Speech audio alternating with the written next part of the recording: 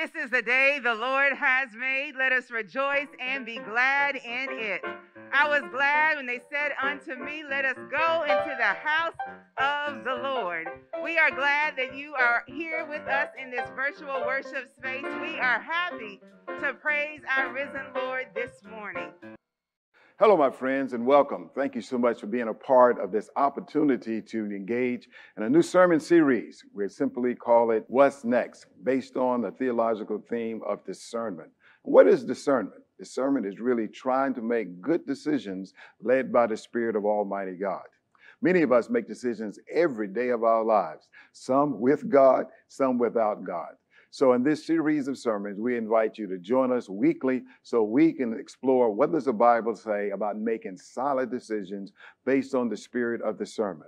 This week, we're going to be talking about making decisions to serve others. And who are those others? That whoever God puts in your path. So please join me right here at the C.N. Jenkins website, also at YouTube and on Facebook on Sunday mornings, as well as uploaded through the week. This is Pastor Cannon. Thank you so much for being a part of this ministry.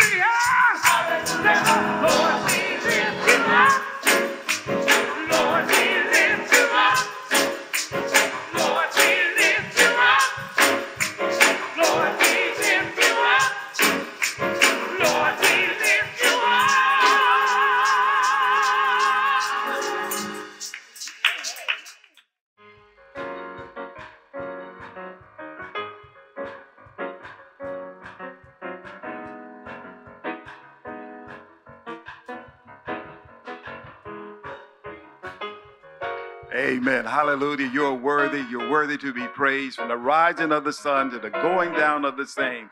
What an awesome God we worship. Thank you, Dr. Monroe. Thank you, choir, musicians. We praise God for our AV team.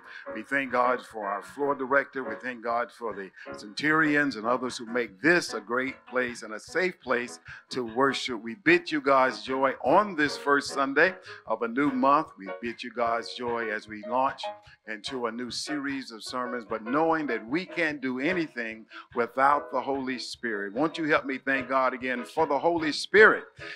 It is here in this space, and we give God praise. In your living room, uh, on your couch, in your car, uh, some of you are vacationing over this holiday weekend, and we thank God that you've tuned in uh, either sharply at nine o'clock or sometime during the holiday week. We're grateful, grateful for the spirit of worship. Join us as we pray now. Eternal God, you are worthy. You are worthy to be praised. And we're grateful, God, on this Sabbath day that you've already spoken a word to us. Now, God, I pray that you would take the words that you've placed in my heart and may they come across from my lips, God, to the people to which you prepared to receive them. Thank you, God, for making us better today than what we were on yesterday. We pray now, God, that someone will indeed hear your word and receive the invitation to follow you as their Lord and Savior. You ask this prayer in Jesus' name. Amen. To God be the glory. Great things God has done, is doing, and promises to do along the way. This morning, if you have your word, I invite you to turn to a very familiar pericope from the Bible, Luke chapter 5. I want to read to you verses 1 through 11 from an NIV translation of God's holy word. That's Luke chapter 5, reading verses 1 through 11 from a new international version of the word. Let us hear God's word. Now, one day, as Jesus was standing by the lake of Gennesaret with the people crowding around him and listening to the word of God, he saw at the water's edge two boats left there by the fishermen who were washing their nets. He got into one of the boats, the one belonging to Simon, and asked him to put out a little from shore. Then he sat down and taught the people from the boat. When he had finished speaking, he said to Simon, Put out into the deep water and let down the nets for a catch. Simon answered, Master, we've worked hard all night and haven't caught anything. But because you say so, I will let down the net. When they had done so, they caught such a large number of fish that their nets began to break. So they signaled their partners in the other boat to come and help them. And they came and filled both boats so full that they began to sink. When Simon Peter saw this, he fell at Jesus' knees and said, Go away from me, Lord. I am a sinful man for he and all his companions were astonished at the catch of fish they had taken. And so were James and John, the sons of Zebedee, Simon's partners. Then Jesus said to Simon, Don't be afraid. From now on, you will catch men and women. So they pulled their boats up on shore, left everything, and followed him. Friends, this is the word of the Lord. Thanks be to God. And with your encouragement today, I want us to focus in on verse 11 of this pericope because it serves as the backdrop, but also the starting gate from a new series of sermons to which we are preaching and teaching starting this first Sunday in July on the spiritual gift of discernment. Discernment, the spiritual gift uh, to which we will be teaching uh, through the month of July and maybe going into August. But today I want us to look at verse 11 of this chapter, for it says, So they pulled their boats up on shore, left everything, and followed him. And with the aid of the Holy Spirit, I want to lift up this text, and for a brief moment, I want to preach on our subject What's next? What's next?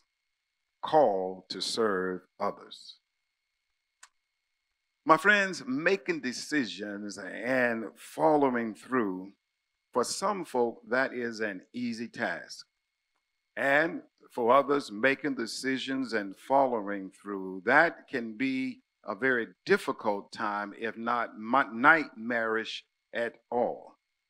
For recognizing uh, that one act often leads to another, and understanding that you and I never come to the crossroads unless we ever get on the road. I want you to recognize, y'all, that I think it would be safe to say that based on the outcome and evaluating the end results, uh, making decisions for some is easy and making decisions for others can be a nightmare. If you agree with me, say amen. If you know it's a nightmare, just say ouch, whatever you want to put in the chat box this Sunday morning. Let me see if I can illustrate this point to you about decision making. For I don't know if you recall, but two years ago, last July, here in Charlotte, North Carolina, Sandra Adams went out for a daily walk, something that she did and does on a regular basis. But this daily walk that usually took about an hour, y'all, extended beyond an hour. It went into the day, it went into the night, it went into the next day. And her family got alarmed because Sandra Adams, 69 years years old from Charlotte, North Carolina, was lost. They called the fire department, they called the police department, they, they, they called the news stations, and they began to seek and search for Sandra Adams here in Charlotte, North Carolina. One day, two day, three days passed. We did not know where Sandra was. And on the fourth night of the of her being away from home, the fourth night, her grandson uh, was reminded in a dream to go look for for his grandmother in the woods. And the next morning, on the fifth day, Sandra Adams' grandson, with another friend and two others, they got together, went to her apartment, went behind her apartment in the woods looking for their grandmother. And to their surprise, they found her. But when they found her, she was face down in a creek. They thought that she had demise. They did not recognize her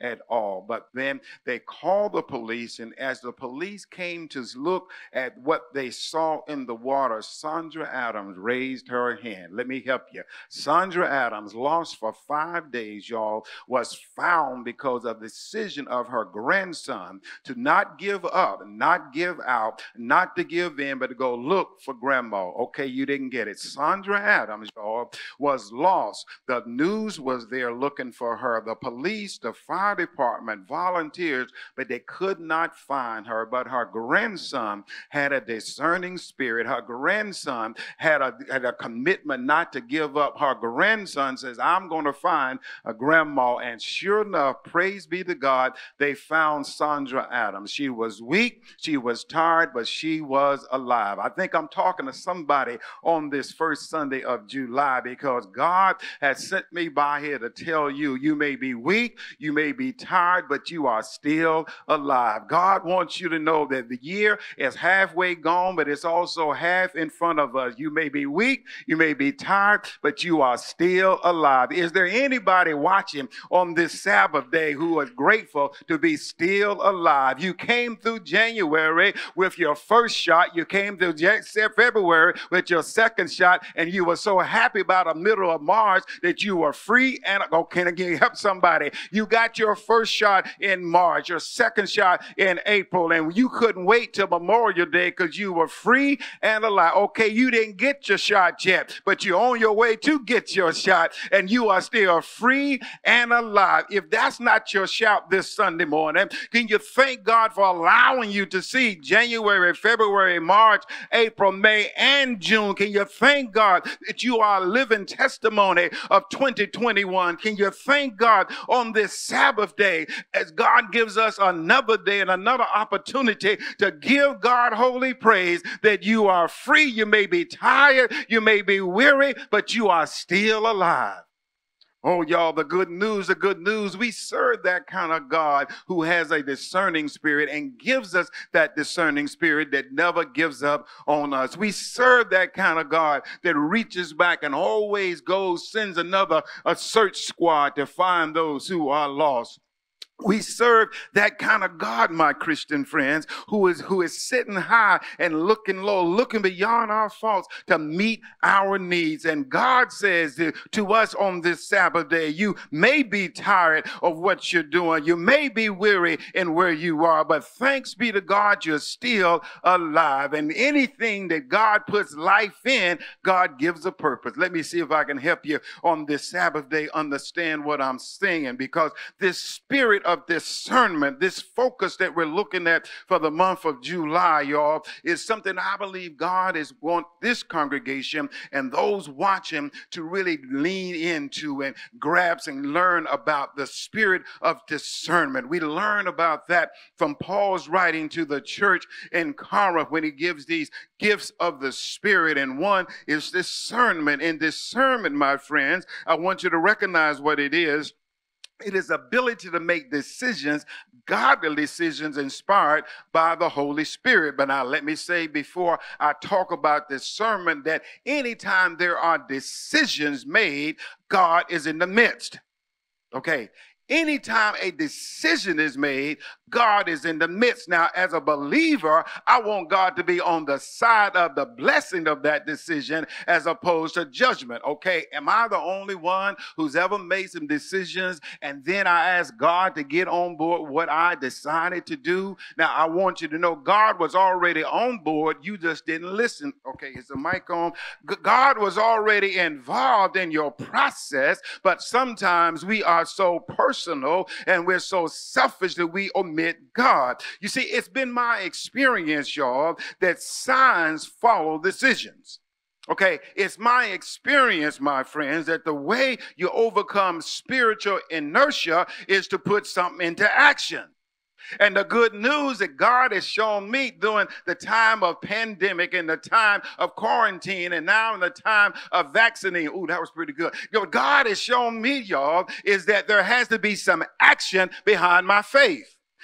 You can no longer sit around and to talk about how good God is if you don't show how good God is. You cannot profess that God makes a way out of no way, and if you are not making your way toward the house of God, you cannot talk about that God can lift you up if you always want to be down. You have to have some actions behind your faith. And y'all, the tougher the decision, the more potential momentum it produces. Okay, the tougher the decision you make, the more potential of God's blessings coming upon you. You know what it's like when you have a rubber band and you take that rubber band and you pull it back. Now, if you pull it back just a little bit, it will indeed uh, expand, but you pull it back way, way, away, away hard about it. It has a way of holding more, but the tension is there.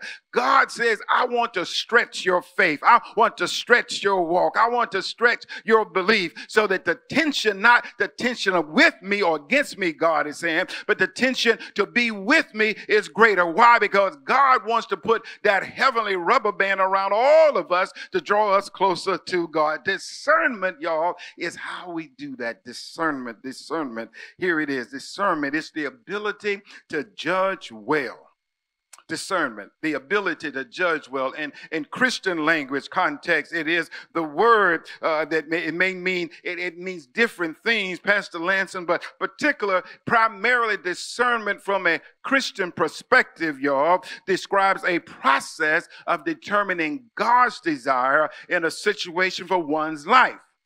Okay, let me back it up and say it again. Discernment as a Christian is a process of God describing the next move in your life. Discernment, y'all, can also mean identifying situations coming to a conclusion, whether they are good, bad, or evil. You see, God never gives us discernment in order that we may criticize, but God gives us discernment so we can intercede. Oh, I think I'm talking to somebody right there because you have been blessed to intercede on behalf of those that you love in a marvelous way. And it's only the power of God that gave you the ability to intercede. Somebody watching on this Sunday morning can give God praise for that spirit of discernment. You made the phone call at the right time. You made the drive by at the right time. You, you sent the letter in at the right. Okay. It's not what you did. Let's talk about start the sermon on somebody else's part. Somebody rung your doorbell at the right time. Somebody told you to stay home. And because you stayed at home, you did not fall into the trouble that was waiting for you in the streets. Somebody took a sick day. And because you took a sick day, the trouble at the work didn't come your way. Somebody can say, I'm grateful for the spirit of the sermon, even the, the spirit that I gave or the spirit that was given back to me. The spirit of discernment. It helps us make godly decisions at a godly time. And it's the simplest way to define it, y'all, is that God wants to speak to us as we speak to God. And the way you get this spirit of discernment is spending time with God. Okay, the way you get it, Minister Donna, is that you have to spend time with God in order for God to spend time with you. It's not that you could get the spirit of discernment in a microwave. You have to spin it in the crock pot. Okay, y'all old school know what I'm talking about. You if you know anything about crock pot cooking, you know you can you can just put whatever you want in there in the morning and cut it on low. And in the evening, if you got enough onions and garlic in there, it's going to smell like something. I don't know what it's going to taste like, but it will indeed smell like something. Now, discernment, y'all, it comes through time. Discernment, y'all, it comes through processes. The discernment, y'all, it comes through experiences. And I believe that God is speaking to us today, that God is saying, I want this body that is called by my name to go through a process of discernment to find out where we're going next. Yes, it's the first Sunday of July, but it's also the first Sunday of the next six months of this year. Yes, six months have passed. We have six months in front of us before we have watched night service here at the church. Yes, we have six months behind us, but it's in front of us. I got to give the quote from Bishop T.D. Jakes about what's in front of you because he says, Everything that I am looking for is in front of me. Okay, y'all, y'all, y'all, y'all, y'all real tough with me on the on the screen this morning, so let me give it to you again.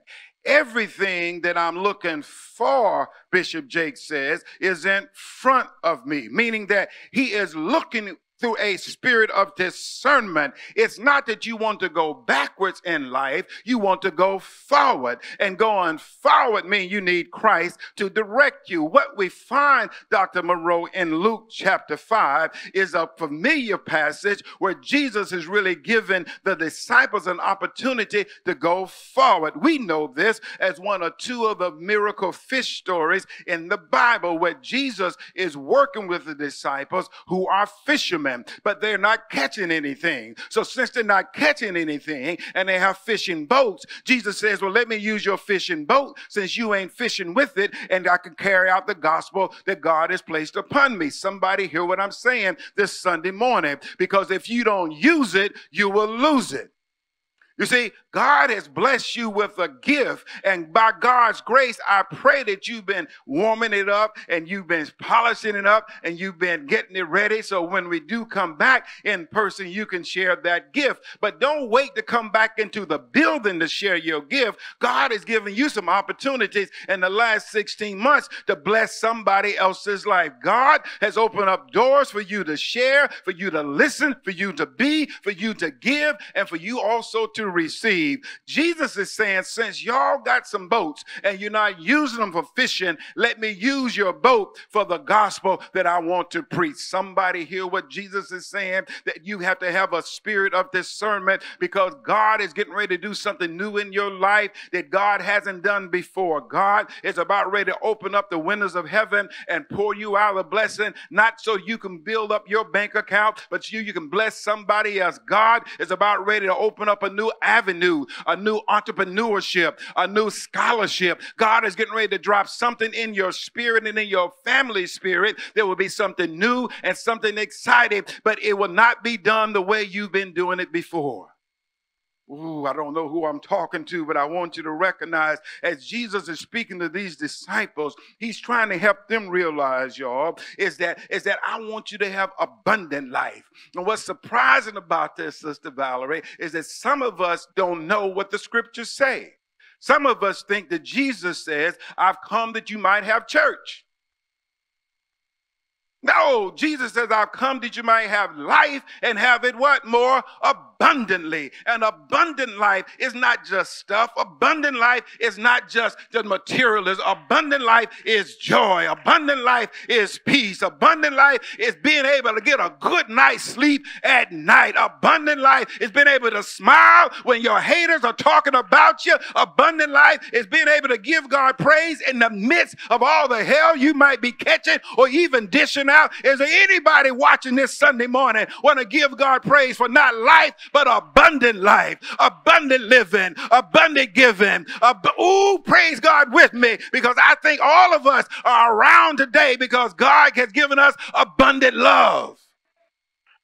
Oh, the good news, the good news in the text, y'all, is that God is trying to do some new things inside of us. And I'm just pushing it again that we have this spirit of, of this sermon. God is saying you got to have a spirit of cooperation as well. What you saying, Reverend? You see, it was only when Peter says, Yes, I will use my boat, or you use my boat to do your ministry, that God is saying the same thing to C.N. Jenkins. I need you to have a spirit of cooperation with your boat. Okay, y'all saying, dude, we ain't got no boat. We got a building. I need you to have a spirit of cooperation with your building. You know, I found, I found, I found, and I don't want to confess too much. Pastor says I shouldn't say it, but yeah, confession is good for the soul, but bad for the reputation. And and y'all, I, as an old school fourth generation Presbyterian, I I'm traditional like nobody's business. But I found that some of my traditions during COVID just really didn't make a whole lot of sense. I don't know who I'm talking to, but if you if you got a tradition that you thought you could not live without in church world, go ahead and just type it right there in the chat box because it didn't make a whole lot of sense. Uh-huh, uh-huh, uh-huh. You, you you thought you had to buy some new Sunday clothes to go to church. And y'all been wearing them same pajamas for the last 16 months. Uh, watching me and Pastor Lansden and those preaching here. Yo, you, you thought for sure, you thought for sure you had to get your hair done, had to get your hair done to come to church. And I ain't seeing what's on the other side of the screen, but I can imagine this. You thought you had to get your nails did, you had to get, you know, all this, you know, it's amazing what you don't have to do to praise God. It's amazing how God just comes in and shows up and shows out. You see, what I found is that exposure, again, exposure is the gateway, the gateway to greatness. And God has exposed this church in so many phenomenal ways uh, since March 20. Matter of fact, God started doing it in 2019, exposing us, giving us an opportunity to feed and to clothe. God started sending people to us, not who were just physically hungry, but spiritually hungry. God continues to send men and women who want to pursue theological education here. God blessed us with students this year as we celebrated. A couple of students didn't take three or three, three, four years to graduate, graduated early. God, God keeps on blessing this congregation over and over again. Why? Because exposure, y'all, leads toward greatness. And I'm grateful that on this Sabbath day, God is doing some exposing, exposing the opportunities and the possibilities. God is exposing somebody to a word that is a lamp unto their feet and a light unto their path. God is exposing somebody to some gospel music that will stir your soul. God is exposing somebody, as Pastor Lansden said, to the history of what it really means to be African American and celebrate the 4th of July. Exposure, y'all, again, is the gateway to greatness. Here's what I want you to recognize is that you have to be so committed to God as these disciples were to let God use what God wants to use, and God will bless you through God has already what God has already blessed you with if you let God use it in a different way. Let me back it up and say it again. You cannot be so tied to what how things used to be to let God not bless you in the way God wants you to be blessed. You have to let go of your boat and let God use your boat for this time right now because God's getting ready. The Bible says, give you a boat load of fish, so much so your boat's going to begin to sink. Your nets are going to begin to tear. Okay, your nets begin to tear, but your boats won't sink. You're going to get such an abundance that you your faithfulness to all Almighty God is going to be exponential in such a way that God will not allow your boats to sink. They're going to go down in the water, but that's just a sign that God is still with you. God's with you. God's with you. God's with you. And, and, and, and the reason God is with you, I believe, because God wants us to be with others. And that's what I want to really leave with you in this sermon this Sunday morning, that it's really about discerning how can we be with others. And you see, if we can be with others, it's almost like what Bishop Jakes says is that if your metal, if your instinct is your metal, then your destiny is your magnet. Ooh, that was good.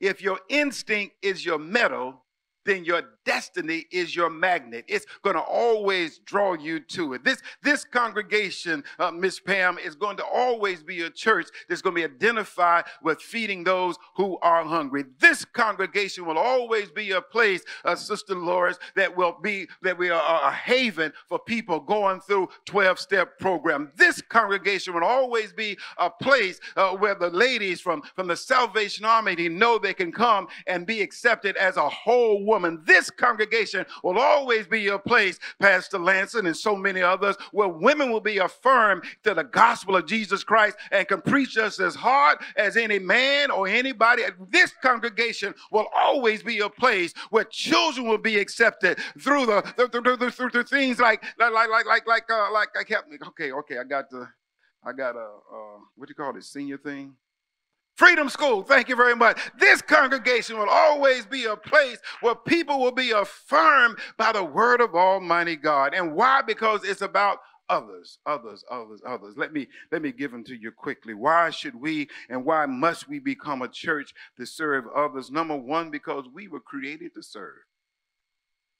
Discerning spirit says C.N. Jenkins, you've got to be about others because that's how you were created. Ephesians 2:10 says it this way: It is God, God's self, whom has made us what we are and given us new lives from Christ Jesus. We have been created to serve others. Why must we, why must we become this kind of congregation, Sister Margaret? It says number two, because it proves that we belong to Christ.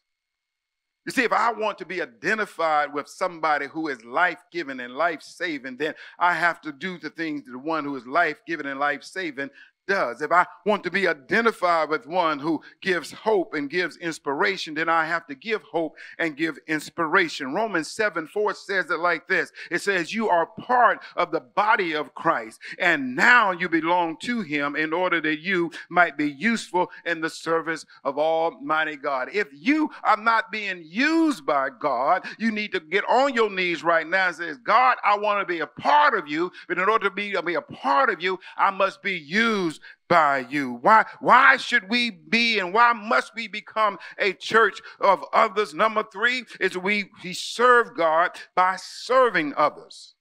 We serve God by serving others. Okay, they didn't get it, so let me give it to you this way. When I preached this sermon several years ago, Miss Miller, what was pushing me to raise the question was why were the disciples mending their nets? And I learned in my study, Miss Cynthia, that they mended their nets because they were catching fish. But that still didn't make a whole lot of sense. Because what I found out, y'all, is that the fish were caught in the nets, but the nets should have held the fish. But then I realized that the only defense that the fish have is their teeth. And because the fish are caught in the net, that means that the fish caught in the net were using their teeth to tear a hole in the net to get out. Work with me. The fish caught in the net were now using their teeth to bite a hole in the net. If the fish had been caught in the net, there would not have been a hole in the net. But if the fisherman had not thrown the net to catch the fish and been successful, there would not have been a hole that the fish ate in the net. Y'all not working with me. You've got to realize that success will always put a hole in your net.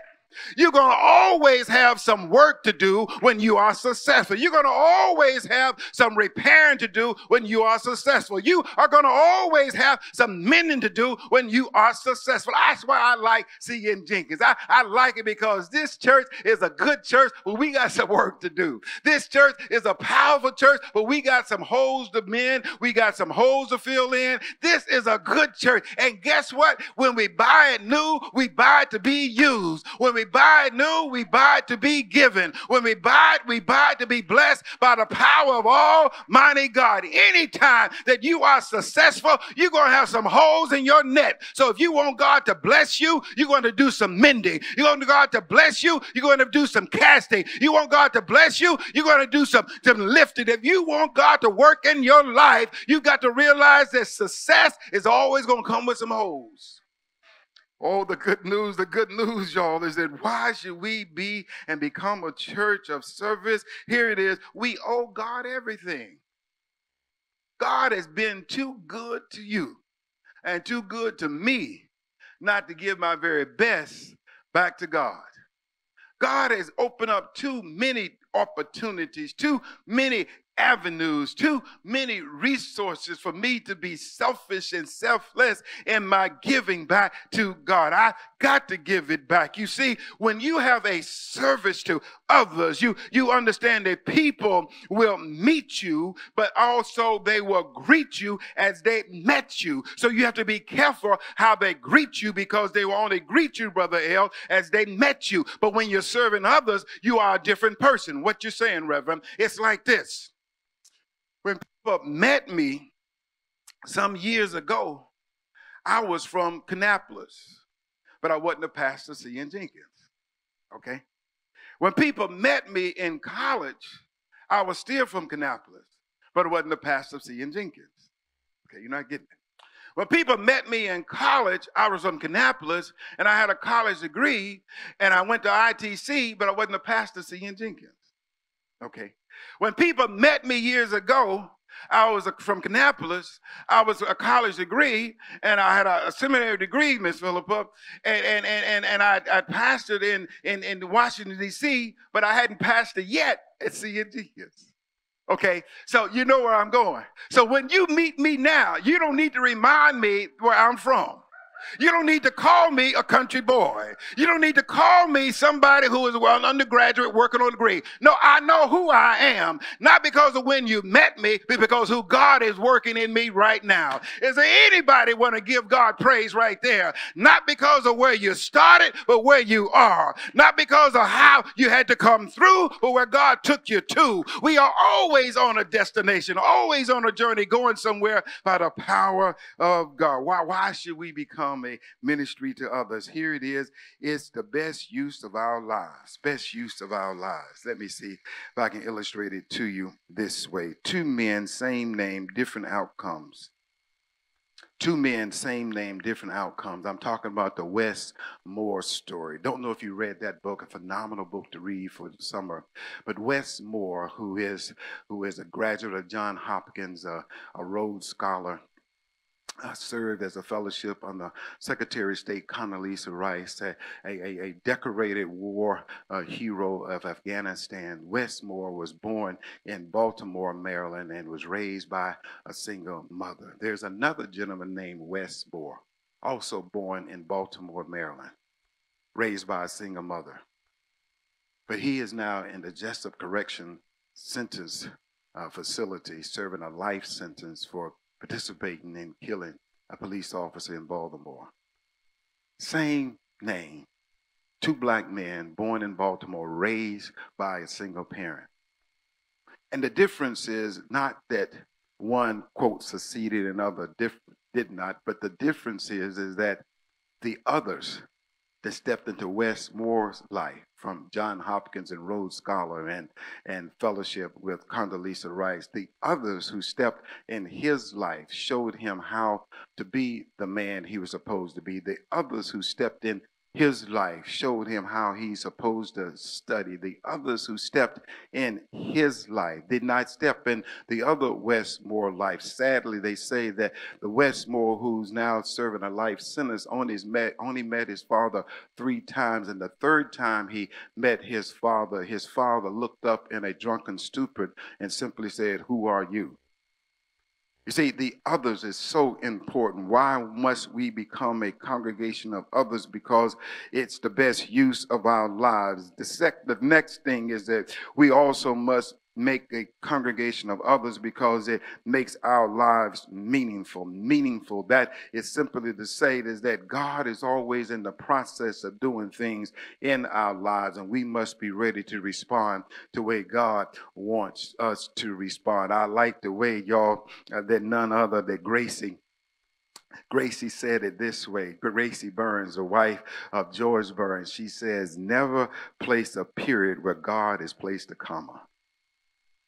You know, that comes from Ephesians 3 24. It says, uh, Now unto him who's able to do exceedingly abundantly more great than I could ever imagine. You see, many of us right now, uh, we're trying to put a period, and God just put a comma. No, we're not going back to church like it was in 2020. We're going to Christ in a different way. No, we're not going back to the way we used to do things on the job, but we're going to go forward to do a greater work for the Lord. No, we're not going to go back and think like we used to think in 2020. We're going to have a transformed mind, as Paul says in the word. Why, why must we be a congregation to serve others? Here is the last one, and it's because serving will be rewarded rewarded in eternity. The Bible tells us in John chapter 12, verse 26, Jesus says, My Father will honor the one who served me. Matthew 22, 21 says, He says, Well done, good and faithful servant. Why must we become a congregation that that, that serves others. I got to give a close with Miss Emma Daniel Gray. Miss Emma Daniel Gray, raised by her grandfather, who was an enslaved African in South Carolina. She migrated with that great migration to the North in 1940s, and she began to work for the federal government. Miss Emma uh, Daniel Gray, y'all, and her husband were doing domestic work in Washington, D.C., and she was so good at her work, she was identified in her service to others, and she she retired, y'all, after serving 24 years as the White House, uh, quick call her the charwoman, C H A R W O M A N, not the chairwoman, but the charwoman. Why is that her name? Because it was her job. She said that she cleaned the Oval Office, she would put her hand on the chair of the chief of staff, excuse me, the commander in chief of the United States and pray over that chair. You missing it right there. This woman served, y'all,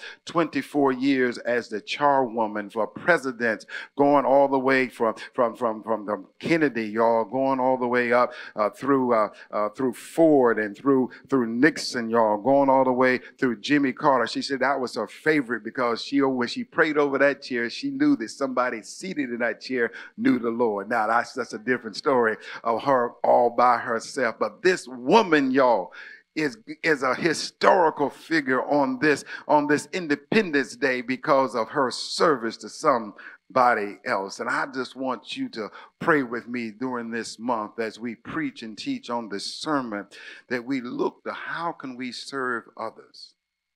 How can we serve others? Wow. That was a worship experience, communion, sermon, choir, all those things.